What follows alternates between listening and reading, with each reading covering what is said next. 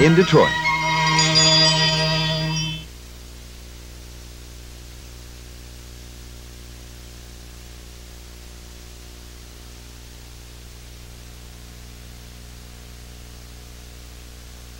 Solid Gold and Jacques Cousteau will not be seen tonight, so we may bring you the following sports special.